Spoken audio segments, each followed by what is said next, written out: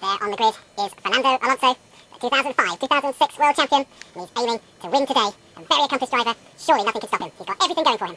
Apart from the fact that front of him on the grid is Lewis Hamilton, the rookie who came in with such a bang, has now really started to show the way. Who will win? This battle. Alonso gets away first, and Hamilton is right with him already.